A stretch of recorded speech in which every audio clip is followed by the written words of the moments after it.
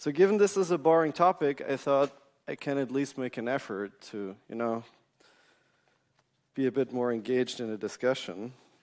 So this is almost the last talk. We can get our hands a bit dirty. And I'd like to start doing that by looking at this. So you can all relax. We need to get our hands dirty, but there won't be any new protocol anytime soon. And the reason I'm pushing this out really strongly is every time you talk about the limitations of what you're currently working on, somebody will go like, "Oh, oh, they're changing it, so no, we probably we probably should wait. Let's let's not fix what we have." So people don't do this because it's not around the corner. But at the same time, not talking about it gives, gives people the wrong impression that we don't care about the current limitations. So Mavlink is so many things, I actually think we need a quick introduction. First, on the lowest level, it's this. It's a couple bytes on a bus. First in, first out, single packet.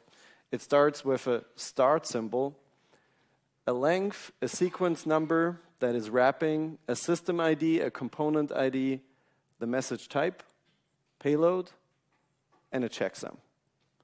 This is the Mavlink 2 non-extended, actually that's a Mavlink 1.0 non-extended frame. It's not the Mavlink 2 frame with signing. So, but that, that's what it is, like super simple. It's, it's even simpler than CAN.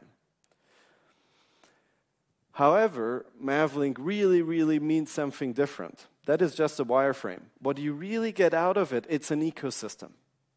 It's an ecosystem promising interoperability. That is why you guys are using it. And when we talk about Mavlink, we're not talking about these bytes on the bus. What we're actually talking about a social contract on how we do things, how we send information, what coordinate frames we use, what datums we use. That is the true value of the protocol. And that is true value that actually doesn't depend at all if you're now sending your bytes little endian or big endian or network order, which is the same thing. It really doesn't matter. It also doesn't matter if you're sending a UDP packet if you're pushing that through a TTMQ queue, if you, whatever, if you use ROS as a transport. The same way as ROS is two things a set of semantic messages and standards and social contracts, specs, and a transport layer, Mavlink is this. So that's really, really important to understand. And so this layers as a common message set which gives you the interoperability part. Then it gives you the microservice architecture, which is a parameter protocol, the mission protocol, and all that. And then there's serial port framing, which is sort of the least impactful yet necessary thing, and authentication in the Mavlink 2 format. The authentication is limited, it's based on a symmetric key. And so that's kind of the current state. And the one reason this protocol has been so successful is first, it has been there at the right moment in time, at the right place. And generally, people underestimate how important that is and then claim they did something right. So I'm not making that mistake. The second reason is things like quality of service, retransmission, um, authentication, command and control are built into the application layer, into these microservices on an as needed basis. The result of that is that you get a super efficient framing, but you all get the functionality you need. For example, that commands get retransmitted. And so you kind of get something that's relatively rigid, crazy efficient, and does all the necessary things, which is beautiful because that's what you need from a deeply embedded protocol that runs on a kilobits, kilobytes per second radio link. That's why it was successful.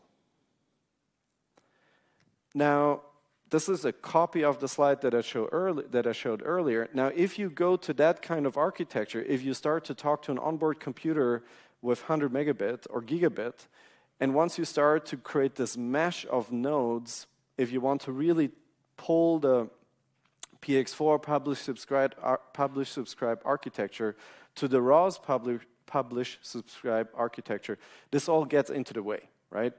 It, it's not designed for it. It's an API protocol. It's not your onboard pub sub thing. So please don't use it for it. Mavlink has been horribly abused. What we want for that is a real deep, proper integration. But at the same time, there's something new. There's a new pattern. Right now, we have this radio link thing with the ground control station, then we have this onboard thing. Now, what, what will happen now is that we're starting to have systems. Systems that are kind of a weird hybrid. It's a swarm in a warehouse, it's a swarm in a light show, it's a wider deployment. So suddenly you have onboard components that need to talk to other onboard components. And we have no concept for that right now. I mean, you have, like, you create this horrible Mavlink bridge, and then, you know, you spend like four weeks and you get very confused on your dialect, and your life is terrible. We don't want that. So let's talk about it. What we can keep is the common message set. What we can keep is the microservice architecture. There's nothing wrong about having a way to transmit parameters. There's nothing wrong about having a way to transmit commands. But then on the framing, how we exactly frame things, we still need that serial port support because that's a core value of Mavlink over everything else out there. But then we can easily also use an IP framing with quality of service. Nobody says we can't just run straight on ROS2. Why not? Framing is there. We have a semantic definition. We, we could also hash out coordinate frames. So we, we do two teams, like ROS developers on one side and PX4 developers on the other. Where are you, Tully? It's not here. He knows why. Though, jokes aside, I mean, coordinate frames and semantics, those are the things that we need to understand and look at. These are the really important things when we talk about this because we're all invested into semantics, into the function calls. We're not invested into what's on the wire. Most of you have no idea what's on the wire. And then what we also need is encryption and proper authentication. When I say proper, I mean with proper, asymmetric, certificate based, proper boot initialization, in factory initialization of your, key, of your certificate chain. All that, we need all that. And we can't build it all ourselves. That's crazy. So we need to live off existing ecosystems. We need to look what is there in general robotics. We need to look at what's there in automotive because we, we really need to reuse what's there. But we can and should keep our semantics because they kind of really work well. And what also will play an increasing role is the other thing that kind of got abused is like Mavlink is kind of, in some places, designed to be easy to work with from an API perspective. Like some of the messages, and I'm pushing back more and more on stuff like that getting merged.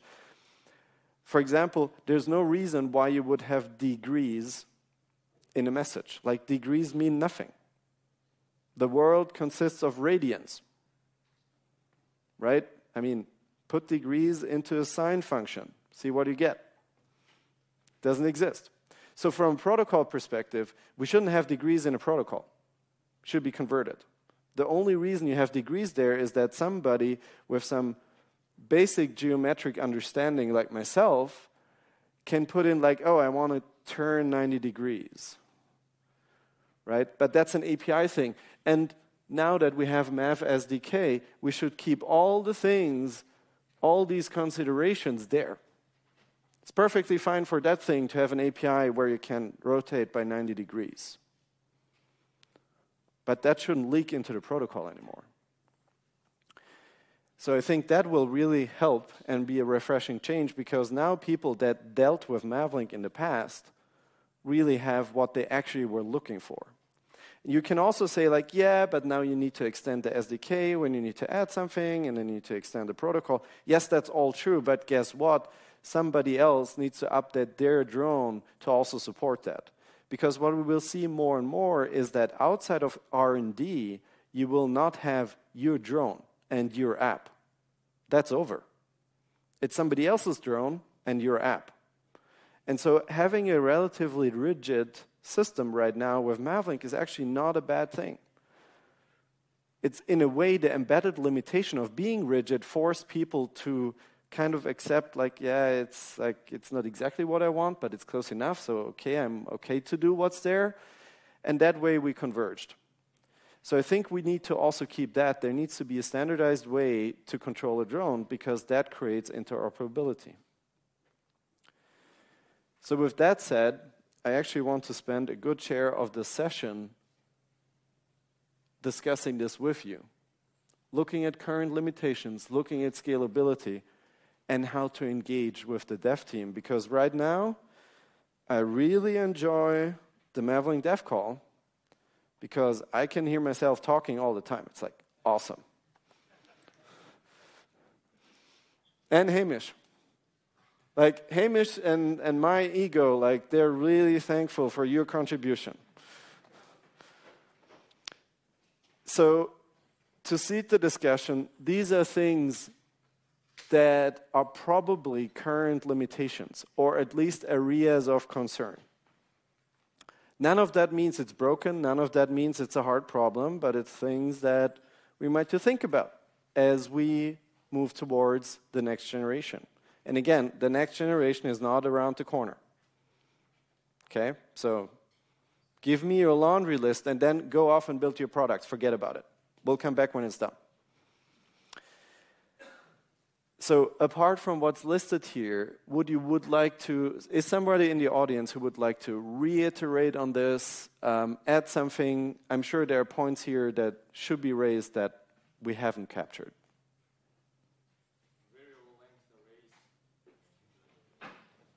Mm -hmm. Yeah, what was raised was variable length arrays. What, what does that help if the message also, size? Also, we have, if we run like a swarm, we have only two, uh, 256 drones. But what if we want more?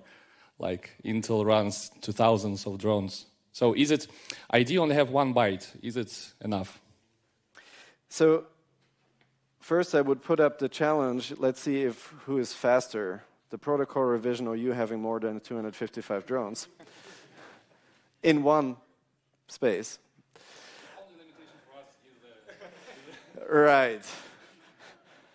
Right. Um, I mean, the IP network answer to that was what's a horrible thing, which is, which is called network address translation. So if you ask me, you're not limited by that we're, we're happy to add that to two so you can scale and then build, you know, you know how long, like actually, I don't know. Anybody surfing on Wikipedia right now and not listening, maybe they can look up like since when IPv6 was un under consideration and what the current adoption rate is. 97. Ah, that's kind of fast. It's not bad. So I think what we need to look into as we revise this is to increase the address space, but have a way, as you're not using it, for example, for a ground station to one thing link, you're not paying the price for being able to address the whole freaking internet or every atom in the universe, depending on what number you choose. So but I think, you know, address space and, and variable length arrays, that's certainly a consideration. Uh, what Mavlink 2 already does is array truncation for the last array. So if you design the message, this is another like this is another Mavlink thing, right? If you design the message correctly, you get that. But only if you know. I think that go ahead.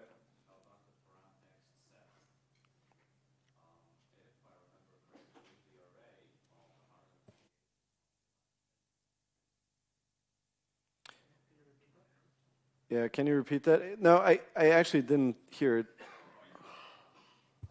Sorry. Um, if I remember correctly, the param-ext set in there, the array of 128 is not the last thing, or it wasn't uh, at the time we were actually implementing this. And so it doesn't get truncated. And with our um, bandwidth limitations, it actually got in our way. Yeah, I, I think it depends on the exact message and depends yes. on how, whether you have extensions there. So, yes. As, as I said, it's like subject to like three or four conditions, you get that or not. And that's, that's not great. Like, we need to get away from that. Hello. I have a question related to the third point. Uh, can you elaborate maybe a little bit? Maybe it's something that we're interested in. Good. So right now we have message retransmission for on the application, I would call it on the application layer of the microservices. So parameters get retransmitted, commands get retransmitted. But it's kind of, it's very efficient and contextual, but it's also painful to implement.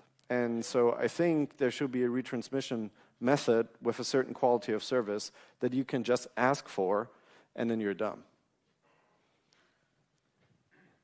Who wants to contribute that?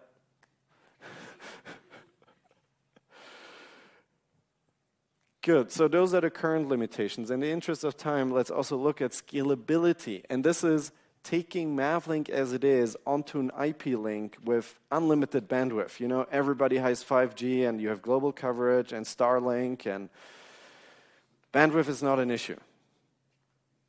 So how does it scale? Um, well, certainly the packet size is something we could talk about. I would actually advised to not necessarily go over the st standard wireless MTU of 1.5 kilobytes. Uh, but you know, we need larger packets because you start to pay for the overhead. Um, we need security in terms of authentication and encryption and beyond what we have, which is a good baseline, but with, with something that can be more easily deployed in a really secure fashion. We need better quality of service Again, it's on the application microservice level right now already implemented, and it's working reasonably well, but it's like it's not easy to add another thing without being sort of deep down in the protocol guts. Anything that is not on here that should be on here.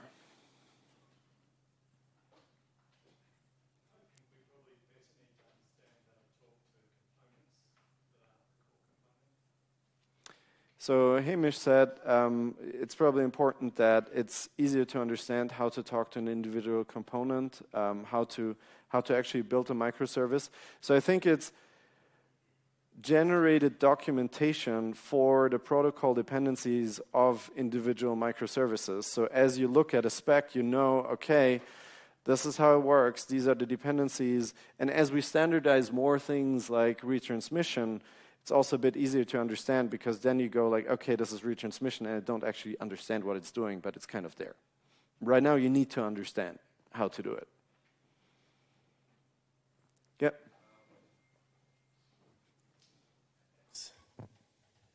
Uh, what about uh, protocol capabilities? Um, that's also one of the things that goes in the same direction as retransmission, which is now handled in software. Um, on a case-to-case basis. So I want to know, is my autopilot supporting message X or service X?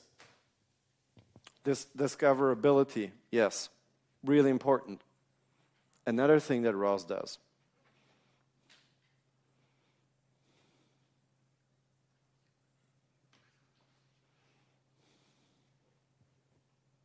Just bigger messages, transmitting images, video over Mavlink.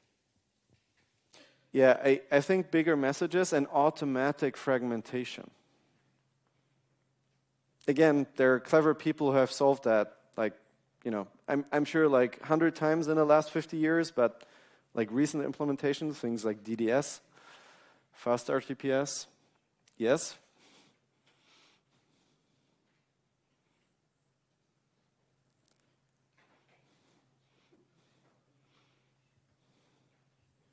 Right. Um, synchronization. If you want to update a few parameters on the drone and be sure that either all of them are accepted or none. Transactions. Yes. Basically, yes. Yeah, Ramon, I think you have to go back there. Can, can you ask a question next? But wait, wait, not yet.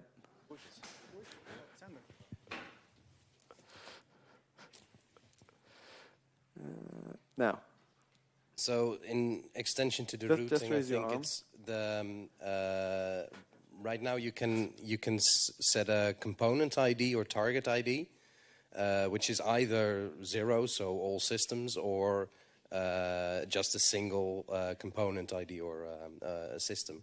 Um, the differentiation between I want to send a message to all ground stations that are listening on this network or all whatever component. I think either it's already working but not clear that it should work that way and not implemented as such, uh, or should be uh, uh, something to consider.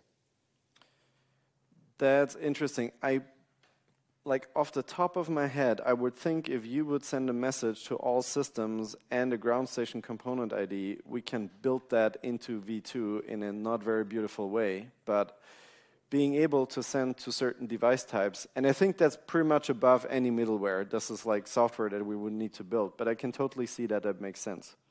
You would also want to send a transponder message that way. Yeah.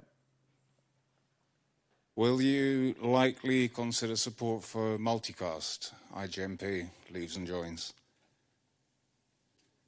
Yes, um, although I'm generally good at knowing what I don't know, and I don't know like how scalable existing middleware solutions are once you put them on multicast. What what corner cases they run into. So to to be un, to be analyzed. Can you uh, raise your hand, please?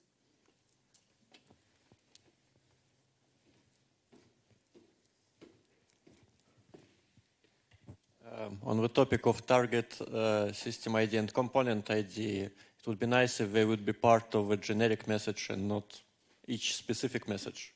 Because you can't right now make a router node without understanding every single message. So that is actually a problem that's solved in V2. So there is for every packet that has a target component ID a an offset that shows you where that is. And if if the offset is I need to I think if the offset is zero, um, it might be a negative number. I need to look, but then essentially you know it's a broadcast. It's the same value as zero. So you can do that with version two completely automatically with the C library.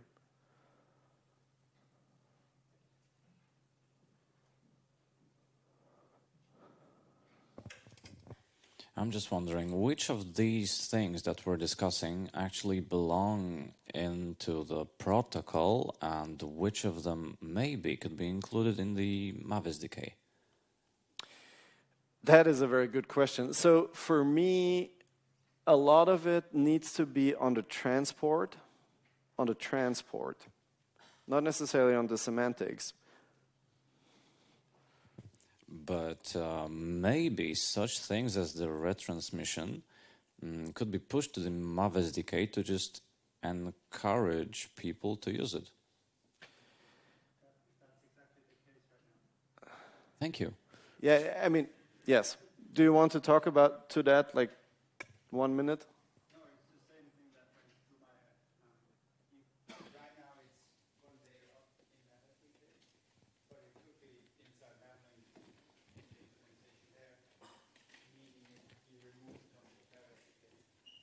So I believe as an end user, you don't care. You just don't care at all. As the Mav SDK developer, you know, you actually prefer if you don't have to implement like three different ways of doing retransmission.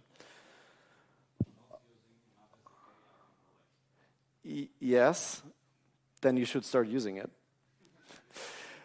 The other thing is um, retransmission and quality of service are closely linked.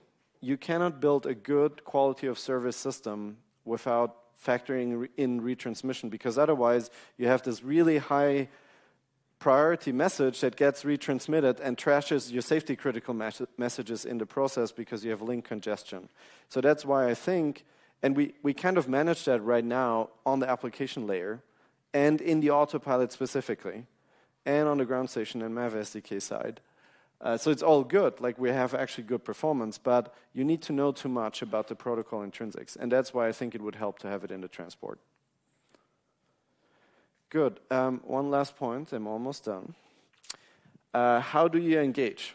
If you have now all these great ideas and you want to change the world and replace 13 standards by introducing the 14th, then you can absolutely do it. Join the biweekly dev call.